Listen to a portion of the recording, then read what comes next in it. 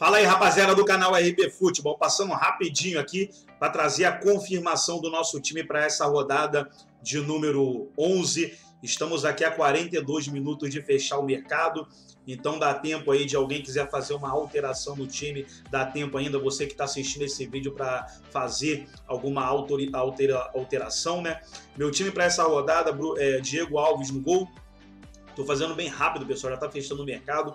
Os dois laterais, o Igor Vinícius e o Felipe Luiz. A dupla de zaga, Rodrigo Caio e Arboleda. Os três meias, Arrascaíta, Ioran e o Gustavo Scarpa. Vitinho, Matheus Peixoto e Pedro. Vou dobrar é, o ataque do Flamengo aí, pois eu creio que com a saída do Rogério Ceni os jogadores vão querer mostrar serviço agora para o novo técnico.